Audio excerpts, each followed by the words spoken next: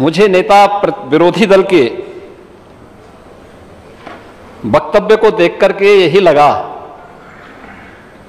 कि 2014, 2017, 2019 और 2022 का जो जनादेश है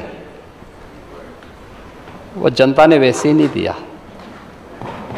और दुष्यंत कुमार ने इस पर एक बहुत अच्छी बात कही।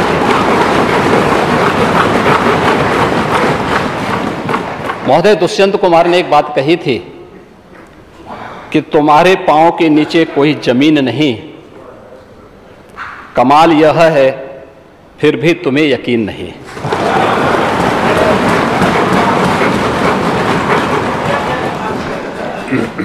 उन्हें जमीनी हकीकतों की कोई जानकारी नहीं है। और तुलसीदास जी ने बात कही भी, समरथ को नहीं, दोष घुसाएँ ऐसे ही लोगों पे बातें अक्सर सा सही बैठती हैं। क्योंकि जो लोग जन्म से चांदी के चम्मच में खाने के आदि हैं,